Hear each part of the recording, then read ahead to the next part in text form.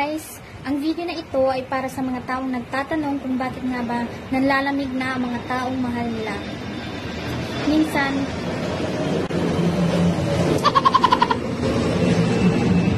A few moments later. aeroplano guys. A few inches later. Minsan, nagtatanong tayo kung bakit nga ba nagbago na sila. Minsan, nagtataka tayo kung may nagawa ba tayong mali sa kanila. Ito ang mga dahilan kung bakit nanlalamig na siya. Number one, siguro may pinag-iinitan na siyang iba. Hindi man lalamig sa'yo ang taong mahal mo kung wala na siyang nakakausap na iba. Minsan, dito niya nakukuha ang mga bagay na hindi mo kayang ibigay sa kanya. Minsan, dito niya nakukuha ang saya na hindi mo kayang ipadama sa kanya.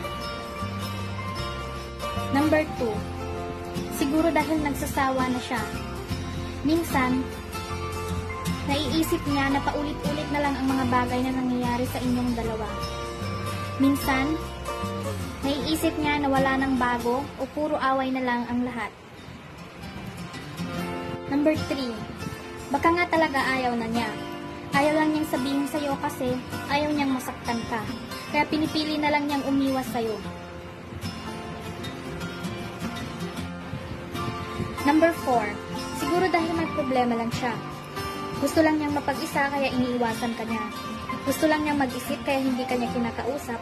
At gusto lang niyang bigyan ng oras ang sarili niya. Number 5. Siguro dahil baka akala mo nanlalamig na siya. Siguro dahil baka ang gusto mo lang ang gusto mong nasusunod. Siguro dahil sarado ang iyong isipan kahit na, kahit na ginagawa naman niya ang lahat, pero hindi mo lang nakikita ito. Kaya guys, wag na kayong mag-isip ng kung ano-ano. Kausapin ninyo ang mga partner nyo. Baka sakaling maayos nyo pa ito. Minsan, may mga bagay tayong hindi nakikita. At wag nating hayaang masira ang relasyon na iningatan natin sa matagal na panahon. Maraming salamat sa panonood at sana nagustuhan nyo ang video na ito. Huwag niyong kakalimutang mag-like, comment at mag-subscribe dito sa channel ko. Maraming salamat!